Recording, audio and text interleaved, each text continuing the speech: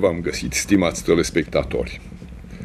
Iată, ne apropiem cu pași repezi de post și pentru emisiunea de astăzi am considerat că este potrivit să vorbim despre post, sau mai precis despre omul modern și despre post. Sigur, atunci când vorbim despre omul modern, ne gândim la omul timpului nostru. Sigur, modernitatea vremurilor noastre uh, sunt circumscrise de anumite stări, știu eu, și ale tehnicii și ale existenței. Și iată, deci, în fața dumneavoastră dorim astăzi să avem un dialog împreună cu preacucernicul Părinte Dumitru Păcur Păduraru, preot misionar la Spitalul Clinic de Pneumologie.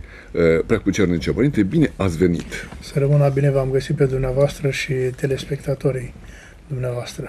Părintele uh, vă este foarte cunoscut pentru că Sfinția sa uh, este prezent mereu și la Radio Trinitas și la televiziunea română și uh, are părintele de asemenea și o carte foarte frumoasă sau mai multe aveți despre Evanghelia zi, zilei. Da, câte, câte... Au apărut două volume și acum este în pregătire la Patriarhia Română un audiobook pentru că este o formă mai modernă de a te adresa ascultătorilor, respectiv privitorilor. Și audiobook-ul urmează să apară probabil până în Paști sau oricum în, pe parcursul acestui an. Audiobook-ul tot la fel se va chema Evanghelia Zilei. Da, deci această carte, Evanghelia Zilei, este rodul activității în mod normal s-ar spune pe un an de zile, dar ea a fost scrisă de fapt în mai mulți ani de zile, sunt convins, așa, înseamnă emisiunile care au fost la Radio Trinitas, explicând Evanghelia din fiecare zi. Părinte, v-aș pune o întrebare. Cred că v-a stimulat foarte mult uh, faptul acesta. Am mai susținut și cu alt prilej uh, următorul lucru. Nu aș fi scris, nu aș fi ajuns în situația aceasta de a scrie o carte pentru fiecare zi cu un, un comentariu la Evangheliile zilnice de peste an. Gândiți-vă că sunt uh, aproape 300 de, de, de fragmente biblice și comentarii pentru fiecare zi, excluzând duminica. Dacă nu aș fi fost pus în situația de a mi se încredința misiunea aceasta, să realizez pentru Radio Trinitas, Radio Patriarhiei Române, un comentariu, o pastilă, dacă vreți, zilnică, pe lângă textul care se citește la Sfânta Liturghie în fiecare zi de peste an, de luni până sâmbătă inclusiv. Eh, iar în postul mare, pentru că nu sunt Evanghelii de luni până vineri inclusiv, ci doar sâmbăta și duminica, excluzând eh, ziua sărbătorii de, bună, de bună vestire, eh, mi s-a îngăduit să propun un text pe, spre reflexie și totodată de meditație pentru cei care doresc ca să-și înceapă ziua, pentru că rubrica aceasta se difuzează dimineața, să-și înceapă ziua cu un gând care are la bază Evanghelia din ziua respectivă. Um, am făcut uh, această experiență la un post de radio la care însă mi s-au încredințat pentru ziua de sâmbătă și duminică două minute. Câte minute dura această pastilă la dumneavoastră? Este o problemă pentru că textul biblic tot eu îl citesc și uneori este Sigur. mai scurt, alteori este mai lung. Sunt texte care durează și 8-9 minute, cum sunt cele din săptămâna Sfintelor Pătimiri sau cele din aceste două săptămâni dinainte de a intra în postul mare, în care biserica recapitulează pe baza Sfintei Scripturi toate pătimirile și ceea ce a fost în jurul uh, suplicilor Domnului nostru Isus Hristos, însă în mod curent durează două minute jumate, trei minute numai citirea textului, însă pastila care o spui, deci comentariul acela scurt pe care trebuie să-l ai, ideal ar fi să nu depășească uh, te, durata textului Evangheliei. Uh, rubrica a fost preluată o perioadă bună de timp, aproape 13 ani și de ziarul Lumina, și acolo ei sunt foarte exacti în, în cât trebuie să aibă textul și a spus 1000 de semne. 1000 de semne înseamnă cam un sfert de pagină A4.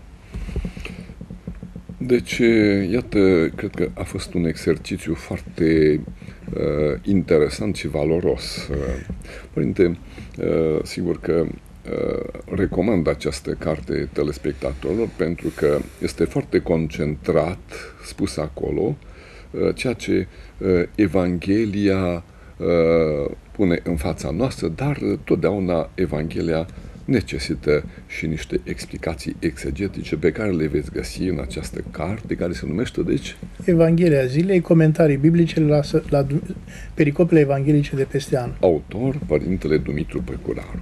Păduraru. Păduraru, iertați-mă. Amintiți de Părintele Profesor Mircea mere, Păcuraru, mere, care mere, a fost profesor. Mere, mereu îmi stă în minte uh, Părintele Mircea Păcuraru, da. Uh, Precu Cernice, Părinte. Astăzi uh, vom vorbi despre post. Uh, sigur că atunci când uh, punem în fața credinciosului, în fața omului postul, de fiecare dată sunt, uh, aș spune, și unele probleme, unele întrebări. Unii mai spun, mai este de folos postul astăzi, mai este necesar, la ce folosește? Nu cumva este împotriva vieții și a omului de fapt, care sunt roadele duhovnicești, vedeți, spune întrebarea cel care ține postul cu o acrivie, cu multă grijă. Părinte, v-aș ruga pentru început să ne spuneți, de fapt, ce este postul? În prezentarea acestei ediții a emisiunii de astăzi, dumneavoastră aminteați despre postul, despre postul creștin, despre post în general și omul model. Să nu înțeleagă cineva că omul modern trebuie să fie rupt sau este un alt om față de omul la care ne referim, ne referim în mod curent. Un om modern este și creștinul care are un sistem de valori morale religioase la baza cărora stă învățătura Domnului nostru Iisus Hristos. Nu trebuie să ne gândim că omul modern este un fel de extraterestru sau cineva depersonalizat care nu mai are nevoie de nimic din ceea ce a fost înainte. Eh, știți, cineva acuza Biserica Ortodoxă și pe ortodoxi în general că sunt conservatori. Iar Părintele Teofil Părean, Dumnezeu să-l odihnească, spunea, suntem conservatori pentru că avem ce conserva. La baza credinței noastre stă învierea Domnului nostru Iisus valori, Hristos. valori fără de care existența noastră, într-adevăr, este în suferință. Sigur, atunci când eh, am eh, abordat acest titlu Omul modern, m-am gândit Uh, la ceea ce uh, comportă viața noastră astăzi. Foarte multă informație, foarte multe probleme, o viață, aș spune, mult mai trepidantă decât uh, înainte, în pofida faptului că, iată, avem, aș spune, atâtea facilități și posibilități de a ne mișca mai repede și posibilități de a comunica excepțional de repede în aceeași practic în același minut poate o știre să ajungă în toată lumea. Și iată, uh, uh, această posibilitate de a comunica aduce odată cu ea și o cantitate de informații. Și informația aceasta vine de multe ori cu aceste întrebări, vine cu aceste probleme. Uh, postul nu este cumva împotriva omului? Nu. Ca să fie un răspuns direct, spun nu răspunsul în spate are o anumită justificare. Acum, noi am putea fi, eu știu, suspectați că suntem preoți amândoi și așa trebuie să vorbim, pentru că asta, cumva, în ghilimele spuse, este meseria noastră. Sigur, este emisiunea Univers Creștin și la uh, această emisiune uh, se dau pe post uh, ideile creștine. Vor fi poate la alte posturi, eu nu știu la acest post să fie o emisiune anticreștine și mă bucur foarte mult, dar poate că la alte posturi și știm că sunt din nefericire, unde într-adevăr se vorbește. Vă rog. Noi prezentăm uh, învățătura Domnului nostru Isus Hristos. La baza credinței noastre stă învierea Mântuitorului. Ori El ne-a învățat ca să postim. Și postul a fost instituit de Mântuitorul nu doar acum 2000 de ani în vremea activității sale publice, ci este un lucru etern valabil pentru omul din toate timpurile. Se postea și acum 1000 de ani și cu siguranță vor fi oameni care vor posti și peste câteva sute de ani. Pentru că este folositor sufletului în primul rând, pentru că aceasta prin suflet noi ține legătura cu Dumnezeu, dar este folositor și trupului. Ne disciplinăm. În rai se postea? În rai se postea, era o formă de post, am spune, angelică, pentru că Dumnezeu i-a l-a îndemnat pe Adam să nu mănânce dintr-un anume pom. Sigur că da. Deci acesta era postul acolo. Da. Acesta era postul.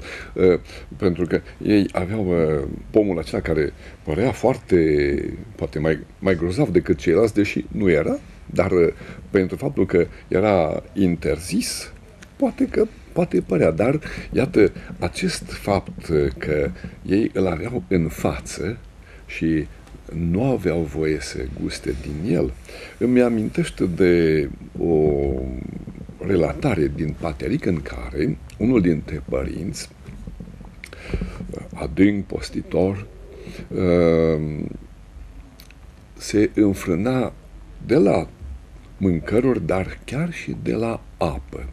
Și de aceea el punea un pahar cu apă în fața lui, exact așa cum și Adam și Eva aveau pomul cunoștinței binelui și al răului în fața lor și punea un pahar cu apă și ceilalți de ce părinte îl pui?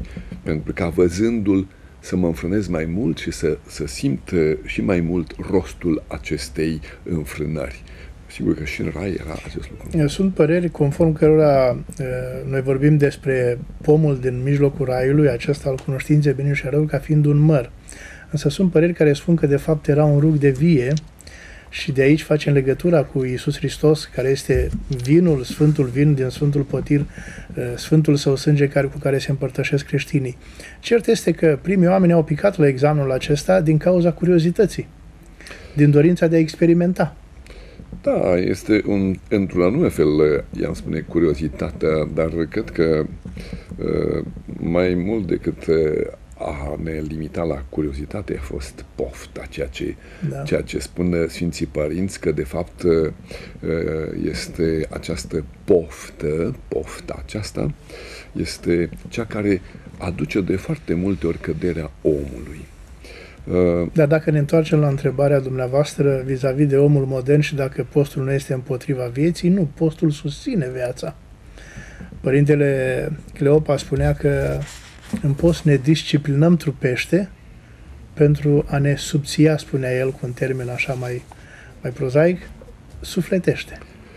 Este, chiar nu mi se pare prozaic, mi se pare chiar foarte, foarte profund, direct, da. este da. foarte profund, pentru că despre această, aș spune, uh, subțiere vorbesc și cei care uh, înțelegeau uh, prin asceză tot un fel de post, uh, filozofii care, uh, iată, aveau un... Uh, era un fel de post aveau, de fapt. Da. Asceza, da.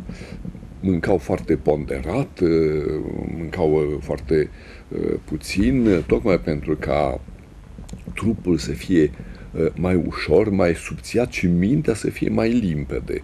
Aceeași Apropo lucru... de asta am făcut un experiment când eram elev în seminar și eu și împreună cu alți colegi.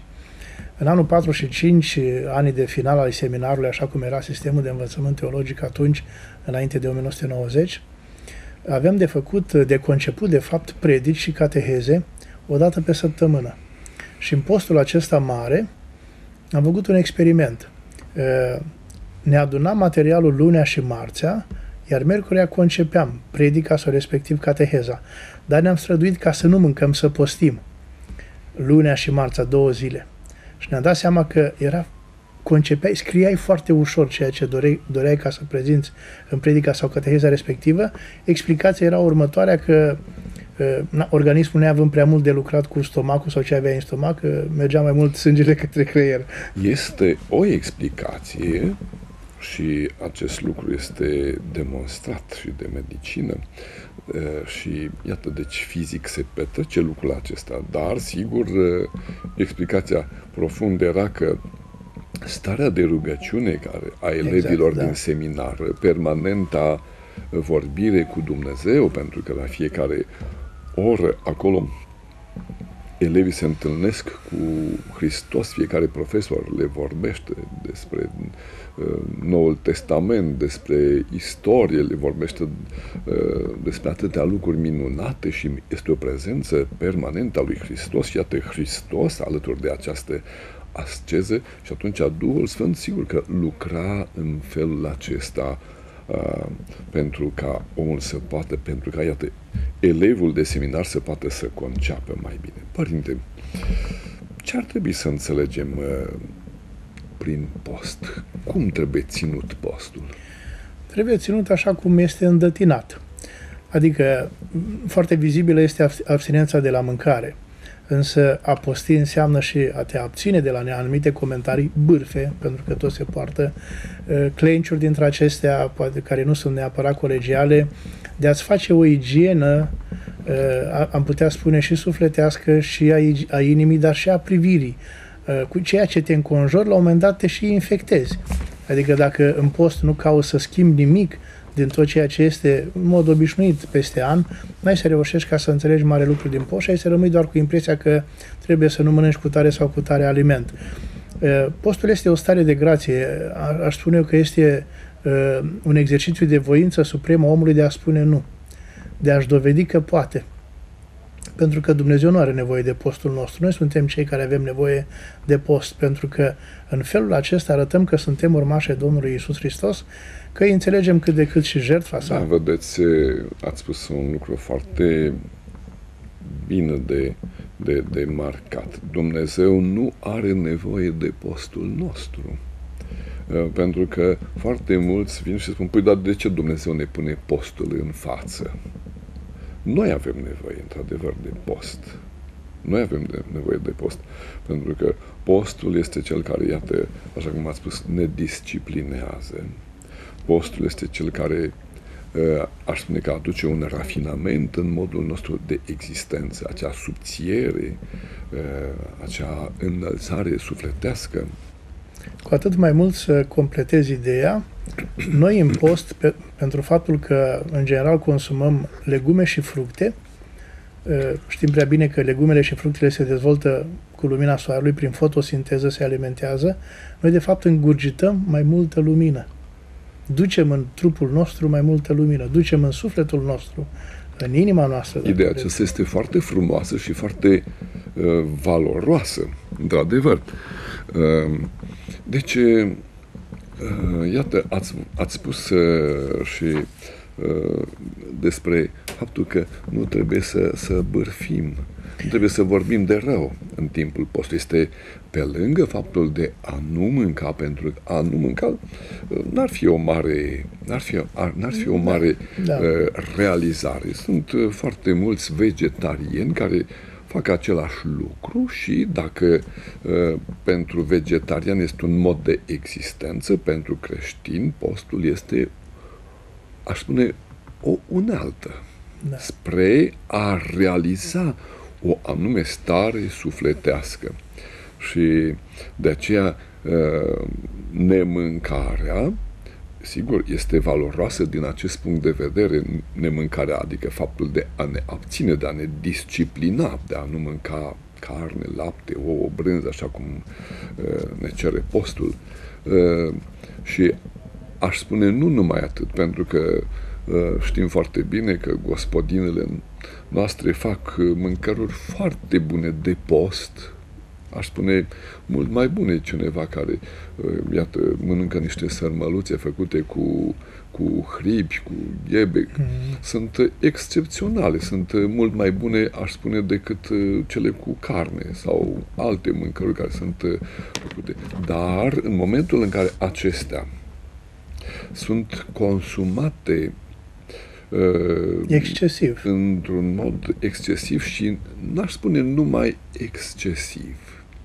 Uh, am uh, avut o meditație și, și asupra acestui lucru și pentru că spunem, da, am postit. Și cum ai postit? Păi n-am mâncat carne, lapte, o brânză. Bun, și, și ce ai făcut? Ce ai mâncat? Păi am mâncat și am mâncat de toate. Și trebuie să da, bine, slavă Domnului, nu am, n-am simțit greutatea postului. Ei, sigur, în momentul acesta în care omul nu simte postul și din punct de vedere alimentar, atunci trebuie să fie o problemă. Uh, postul acesta uh, deci uh, trebuie să însemne și o abținere chiar de la celelalte mâncări care să fie totdeauna foarte atent consumate, niciodată... Și n-ar, cumpătat, n-ar, în mod cumpătat. Cumpătat și n-ar trebui să ne săturăm. Da. N-ar trebui să ne săturăm. Uh, iată, deci, uh, din punctul acesta de vedere, aș spune, poate că, uh, pentru ca să, să, să, să închem cu ceea ce înseamnă a mânca. Cine poate să mănânce și cine poate să nu mănânce. Deci, cine poate să postească și cine nu poate să postească. La urma urmei, în post uh, se pune problema în felul următor. La ce ești dispus să renunți? Pentru că Dumnezeu îți cere și îți este folositor sufletului tău. Și așa cum spuneam, cel mai evident este a renunța pe cât posibil la anumite alimente, care, la urma urmei, din punct de vedere medical, uh, sunt tot pentru noi benefice.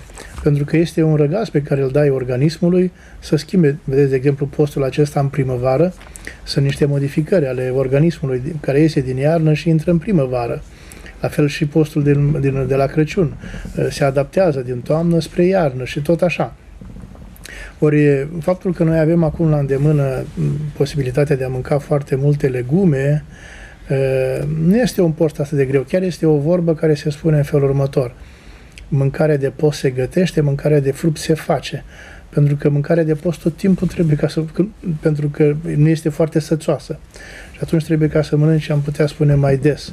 Dar cui stă mintea numai la asta, numai la asta se gândește și pune problema în felul ăsta, văzând numai din punct de vedere alimentar. Însă, vedeți că oamenii țin foarte multe diete, regimuri alimentare, fără ca să se gândească foarte mult la, eu știu, pedicile uh, pe care le cere sau abstinențele pe care le cer anumite regimuri alimentare. Dar când este vorba de post pentru a face ceva pentru sufletul său, atunci apar tot felul de scuze. Eu sunt preot într-un spital și mi s-a întâmplat în multe rânduri uh, mergând la cineva care este internat în spital, în situația în care era să-i spun, uite, vin mâine dimineață să te împărtășesc. Și el din Evlavia a spus, părinte, dar aici am mâncat cam ce mi-a dat. Dar vedeți că biserica are înțelegere pentru oamenii bonlavi, pentru femeile însărcinate, pentru mamele care luptează, pentru prunci, până la o anumită vârstă, se înțelege că au nevoie de o alimentație mai consistentă. Însă, pentru noi, cei care, să spunem că suntem sănătoși, ă, nu trebuie ca să-l considerăm a fi un efort foarte mare. Este un lucru obișnuit.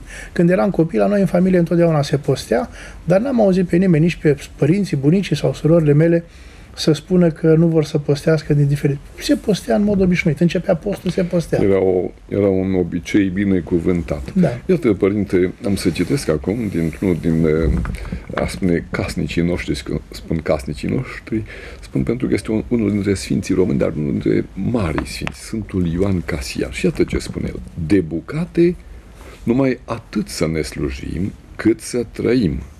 Nu să ne facem robi pornilor poftei, despre ceea ce spuneam. Primirea hranei cu măsură și cu socoteală dă trupului sănătatea. Iată un lucru extraordinar pe care el a spus, deci prin el a fost trăitor prin secolul 5-6, nu? Deci, primirea hranei cu măsură și cu socoteală dă trupului sănătatea și nu îi ia sfințenia.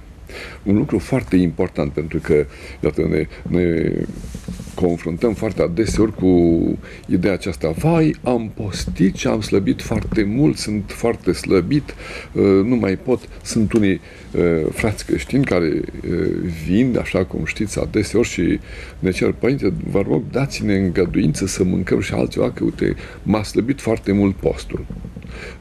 Nu, nu este. Este o înțelegere greșită, după limitată, părerea mea, da. și, și nu este reală. Uh, postind până seara să nu mănânci atunci când te saturi.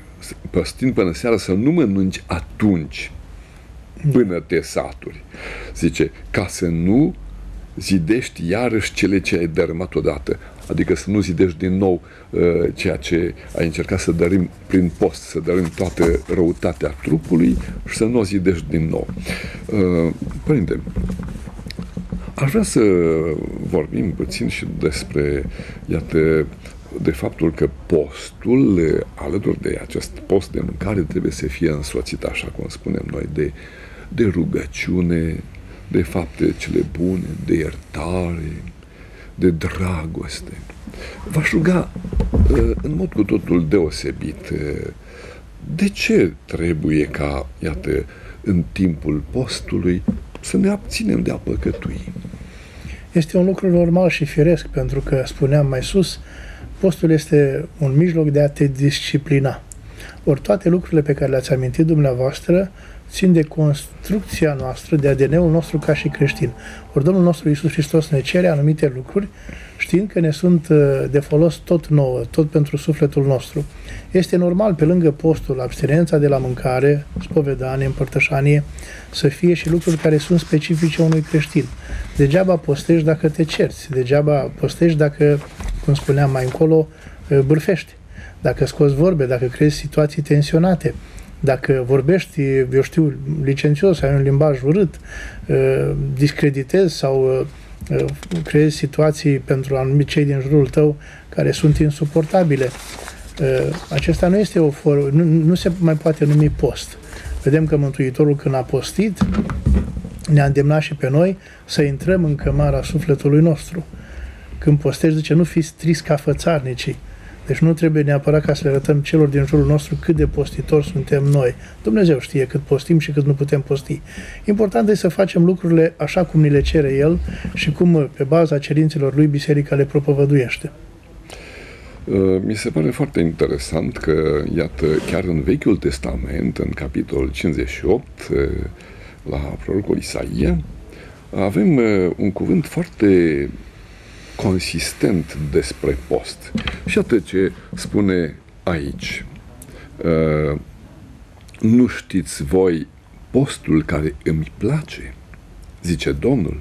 Rupeți lanțurile nedreptății, dezlegați legăturile jugului, dați drumul celor asupriți, sfărămați jugul lor, împarte pâinea ta cu cel flămând, adăpostește în casa ta pe cel sărman, pe cel gol îmbracă nu te ascunde de cel de un neam cu tine. Atunci lumina ta va răsări ca zorle și tămăduirea ta se va grăbi. Poate am să mai citesc mai târziu, dar iată, aș vrea puțin să... să... A sintetizat foarte bine, deși ceea ce ați citit dumneavoastră este scris înainte, cu câteva sute de ani de nașterea Domnului nostru Isus Hristos. Sigur că da. Însă uh, aveau deja faptul că ceea ce s-a scris, s-a scris sub inspirația Duhului Sfânt, Dumnezeu a trimis aceste cuvinte sub forma aceasta prorocului, uh, aveau deja conștiința că nou legământ, uh, ceea ce înseamnă venirea Domnului nostru Isus Hristos în lume, va reprezenta altceva. De exemplu, să ne amintim că la începutul perioadei triodului, a fost o duminică numită a Vameșului și a Fariseului. Și a văzut acolo cum Dumnezeu l-a apreciat pe, fariseu, pe Vameș pentru rugăciunea scurtă, smerită și profundă pe care a făcut-o. Nu neapărat l-a condamnat pe, pe fariseu, dar cred că i-a displăcut uh, enumerarea calităților lui, mai mult decât atât judecata foarte arbitrară și subiectivă pe care a avut-o față de cineva pe care poate l-a văzut atunci prima oară în templu. Că nu sunt ca acest vameș, așa a spus el. Ori în post noi nu suntem îndemnați să ne comparăm cu ceilalți și să ne comparăm cu Domnul nostru Isus Hristos. Deci, iată un lucru foarte interesant, uh, stimați telespectatori. Uh, e foarte valoros să facem comparații. Dar de câte ori să ne comparăm cu un semen al nostru, vom putea să găsim, sigur, uh, calități care, pe care el nu le are sau pe care să îi le uh, neglijăm, să nu îi le recunoaștem. Singura comparație pe care uh, ne îndeamnă uh, înțelepciunea duhovnicească să o facem este aceea cu Hristos. De altfel și Sfântul Siluan a avut o, o întâlnire cu Hristos și atunci când a spus coboară mintea ta la iad, coboară mintea ta la iad dar nu deznădăjdui. Ori a coboră mintea ta la ea, ce înseamnă? Eu, pentru ceea ce sunt, sunt vrednic de iad. Da. Acolo, în iad, când ești, nu te mai uiți că ăla a păcătuit, că ăla a păcătuit, ci te îndrepți cu ochii spre Hristos. Doamne, scoate-mă de aici, Doamne. Sigur, este, uh, este un mod prin care Sfântul Siluan Atonitul a reușit să dobare tot ceea ce uh, este rău în sensul că niciodată n-a văzut răul la ceilalți. Iată, faptul de a nu judeca pe alții. Și faptul de a nu judeca are consecință că nu vei fi judecat. Nu vei fi judecat. Sau vei fi judecat prin prisma judecății lui Dumnezeu, care știm că este bun milostiv, dar este și drept. Părinte, ce rost are în timpul postului rugăciunea? Rugăciunea întărește postul. și postul șlefuiește, am putea spune, disponibilitatea spre a te ruga. Vedem că prima săptămână din postul cel mare, postul Sfintelor Pătimiri ale Domnului nostru Isus Hristos, ă, o numim săptămâna duhovnicească pentru că se săvârșește slujba pavecerniții cele mari însoțite de canonul de pocăință a Sfântului Andrei Criteanu. Cel mai des verset auzit acolo sau cea mai deasă rugăciune pe care o pomenim este următoarea. Miluiește-mă, Dumnezeule, miluiește-mă. Este acest stih care, în, și un care, care, care, într-adevăr, precede fiecare vers. Strofă, da, da. Sunt 250 de strofe. Uh, vreau să mai adaug următorul lucru. În post uh, trebuie să te gândești că ești într-un alt moment să-ți dimensionezi pe cât posibil activitatea, ceea ce dorești să faci. Și aici vin cu un argument pe care Părintele Teofil Părian, pentru că mi-este drag, întotdeauna amintesc de el, a fost pus în următoarea situație. Vorbind la o conferință, era în postul mare și cineva i-a trimis un bilețel din sală, știți că el prezenta o conferință, cam jumătate de oră, după care urmau întrebările, care de fapt acele erau deliciu întâlnirile respective. Întrebările pe care le puneau cei din sală le, îi le adresau părintelui cei din sală. Și cineva a trimis un bilețel și l-a întrebat, părinte, dacă este în postul mare și sunt nevoit să merg în delegație, să merg la cutare în vizită și acolo îmi dă mâncare de fruct. Să mănânc sau să nu mănânc? Și părintele a răspuns foarte frumos. A spus, pentru dragostea celui care a gătit, nu poți să-l refuz. Mănânci. Și atunci cu persoana respectivă întărește întrebarea și trimite un alt bilet din sală. Dar dacă este în săptămâna Sfintelor Pătimiri, și atunci Părintele a răspuns mult mai frumos și a spus, dacă este în săptămâna pătimilor, mai stai și dumitale acasă. da, sigur că da. Uh, sigur, uh, era vorba despre rugăciune și a spus foarte frumos că rugăciunea este practic temelia viețuirii noastre, este respirația noastră. Uh, postul este o perioadă care a fost gândită în mod cu totul special ca să fie îmbogățită în rugăciune. Creștinul trebuie să se roage mai mult. Uh, rugăciunile, ele însele conțin îndemnuri foarte frumoase. Sigur, iată, uh, rostind rugăciunea Tatăl nostru, spune, simțească-se numele tău, dar să se simțească în noi numele da. tău. Este interesant că toate cererile de rugăciunea Tatăl nostru sunt șapte la număr, sunt la plural, nu sunt la singular, nu este Tatăl meu. Este pâinea noastră, tatăl, tatăl nostru. Sunt la plural, adică aici includem în ceea ce înseamnă postul creștin și rugăciunea și pe ceilalți. Noi nu postim în mod separat, individual. Mântuirea este un lucru personal, dar care atârnă și de cei din jurul nostru. Părinte, uh, dacă intrăm în post și, sigur, postul de obicei îl acceptăm cu această intenție de a ne ridica duhovnicește, de a ne înălța spiritual. Dacă intrăm în post și iată uh, în lumea aceasta care este atât de, de, de diversă și cu atâtea probleme, avem ceva împotriva cuiva, suntem în neliniște cu cineva, nu avem pace, ne-am supărat. Ce trebuie să facem? Ideal ar fi, și nu este răspunsul meu, ci vedem ceea ce ne îndeamnă Mântuitorul, să lăsăm darul la altar, să mergem să ne împăcăm cu persoana respectivă pentru ca ceea ce oferim lui Dumnezeu chiar să aibă valoare și să fie primit cu toată dragostea. Sigur, nu este ușor ca să ierți pe cei care te discreditează sau, eu știu, uneori în mod neașteptat așa, o atitudine ostilă față de tine. Însă Mântuitorul ne spune, îndrăzniți, eu am biruit lumea, în lume necazuri veți avea. Ideale ar fi ca să nu avem, dar uneori vin și situații de acest fel. Și Mântuitorul a preîntâmpinat lucrurile acestea. Mai mult decât atât, vedem următorul lucru. Când este vorba de uh, firea umană, Mântuitorul cunoscând-o foarte bine și știindu-ne suntem deficitari, nu ne-a învățat, ci ne-a poruncit ne-a poruncit să ne rugăm, ne-a poruncit să postim, pentru că de om, omul de obicei este îndărătnic. Dacă îți spui de rugăciune, obosește, dacă îți spui de post, nu poate posti că din diferite motive. Și atunci Mântuitor ne-a poruncit ca să facem lucrurile acestea, nu le-a recomandat, ci a spus aceasta să o faceți spre pomenirea mea. Da. Uh, iertarea, iertarea care trebuie să intervină între noi este una pe care noi, de fapt, cu care noi condiționăm relația noastră cu Dumnezeu. Și ne iartă, Doamne, spune noi rugăciunea Tatăl nostru, greșalele noastre, după cum îți arătăm acesta este sensul, după cum și noi iertăm, precum și noi iertăm greșiților noștri. După cum noi îți arătăm că noi iertăm. Noi venim cu iertarea noastră, Doamne, în fața ta. L-am iertat pe el, pe el, pe el. Iartă-mă și tu acum. Ne amintim că Mântuitorul când era pe cruce, răstignit, suferind tot ceea ce a suferit pentru noi, a spus, Doamne, iartă-le că nu știu ce fac. Și este o vorbă frumoasă a unui părinte, zice în felul următor. Cine iartă, întotdeauna învinge. Sigur că da. Este cea mai mare biruință. De fapt, biruința aceasta uh, nu este uh, o biruință asupra cuiva, ci asupra ta însuți, asupra patimii din tine. Să poți să înlături ura. Ori iată, postul are tocmai acest scop de a aduce pace în lume și bună învoire și bună înțelegere și sigur uh, de a aduce o bunăstare și de a aduce și mântuirea tuturor.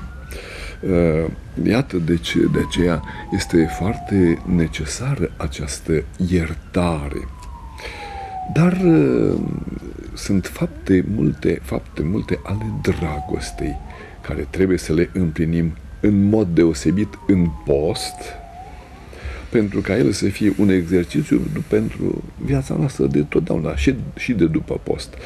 Uh, din acest punct de vedere, uh, fapta dragostei, faptul de a ajuta, faptul de a milui pe cineva, faptul de a cerceta un bolnav, uh, în ce măsură are importanță pentru creșterea duhovnicească a fiecăruia dintre noi. Sunt de căpătâi. Să nu uităm că atunci când facem un lucru din cele pomenite de dumneavoastră, uh, organismul nostru secretă o anume substanță care ne dă o satisfacție deosebită. Ne bucurăm că am reușit să facem cu tare lucruri, mă refer la lucrurile bune. Fericirile, iată. Da, da. Și atunci, sigur, oamenii vor căuta să împlinească și acest deziderat, această poruncă a Mântuitorului, uh, să facem pentru cei mai mici ceea ce se poate face. Uh, am avut ocazia să realizez un interviu cu un om, uh, un om de afaceri din Germania care a făcut un centru social pentru copii aici undeva în Moldova și l-am întrebat de ce ați venit până aici ca să faceți ceea ce ați făcut, banii dumneavoastră, o stenea la drumurile, el a spus în Germania deja lucrurile acestea sunt acoperite, dar aici erau, sunt, există un deficit de astfel de centre. Și mi-a spus o vorbă foarte frumoasă. A spus așa, părinte, eu m-am ghidat toată viața pentru că am fost un copil sărac după următorul principiu. Cine are mult, poate da mult. Cine are puțin, poate da puțin. Important să știi să oferi, pentru că Dumnezeu vede și când poți și când nu poți sau când nu vrei. Să ai disponibilitatea aceasta de a de a ști să faci bucurie celui de lângă tine. Petrecerea în timpul postului, petrecerea acestui timp... M-am gândit că vă referiți la a face o petrecere, nu? Îți duce viața în post. ci a, modul, modul de a trece timpul postului, a petrece. Iată ce spune uh, patericul. Și spune, a zis iarăși Ava, în cuvinte dumnezeiești să ne desfătăm și în istorisiri ale Sfinților Părinți să prăznuim. Nu pântecele desfătându-ne, ci duhovnicește bucurându-ne. Și duhovnicește bucurându-ne, sigur, bucuria aceasta duhovnicească este un rod al Duhului Sfânt, așa cum știm, pacea, dragostea, bunăvoirea, credincioșia, bucuria, sunt roade ale Duhului Sfânt care se sălășluiesc în cel care împlinește și face voia lui Dumnezeu. V-aș ruga să ne spuneți, Părinte, uh, ce ar trebui să mai facem când, uh, iată, deschidem uh, diverse aparate din acestea media, fie televizor, radio, internet și acolo vedem tot felul de lucruri care, de fapt, ne distrug uh, spiritual. Dacă nu ne distrug, măcar reușesc să ne distragă atenția și să ne distorsioneze, uh, eu știu, realitatea din jurul nostru. Oamenii ar trebui să nu uite că mijloacele media, mass media în general, uh, e o afacere din care se câștigă bani și banii se câștigă din reclamă și publicitate și aceasta ține în funcție de ratingul pe care îl are, de uh, cât de uh, ascultat sau vizualizat este uh, respectivul post. Și... Aș spune acum că, părinte, iertați-mă că intervin, reclama și publicitatea n-ar spune că neapărat, că neapărat acelea sunt păcătoase, pentru că acolo vine spune cumpără cu tare, cumpără cu tare. Am, am vrut să spun altceva, da, pentru da. că uh, oamenii să înțeleagă că cei care se ocupă și sunt oameni foarte bine pregătiți și știu ceea ce înseamnă, au simțul peții, înțeleg uh, că uh, într-un anume fel trebuie ca să ajungi la, în ochii privitorului sau în urechile ascultătorului. Și din motivul acesta trebuie să știi foarte bine să și vinzi reclamă și publicitate. Deci, pe cât posibil în post, uh, ar trebui să-ți disciplinezi și să faci o curățenie în jurul tău. La ce mă uit, când mă uit și cât mă uit. Stimați telespectatori, din nefericire, iată, timpul acordat emisiunii noastre s-a cam epuizat. Uh, uh, îi mulțumim părintelui Dumitru Păcuraru. Păduraru. Păd... iertați-mă, părintelui Dumitru Păduraru de la Spitalul de Pneumologie pentru bunăvoința de a fi fost alături de noi. Și uh, să medităm, iată, că venind această perioadă apostolului, să fim mai buni, să încercăm să facem ceea ce îi place lui Dumnezeu, să ne disciplinăm și trupul și spiritul prin rugăciune, prin fapta bună, prin iertare, prin împăcare. Dumnezeu să ne ajute să avem cu toții un post în care să ieșim mai frumoși, mai înțelepți, mai iubitori de pace, mai fericiți. Thank you.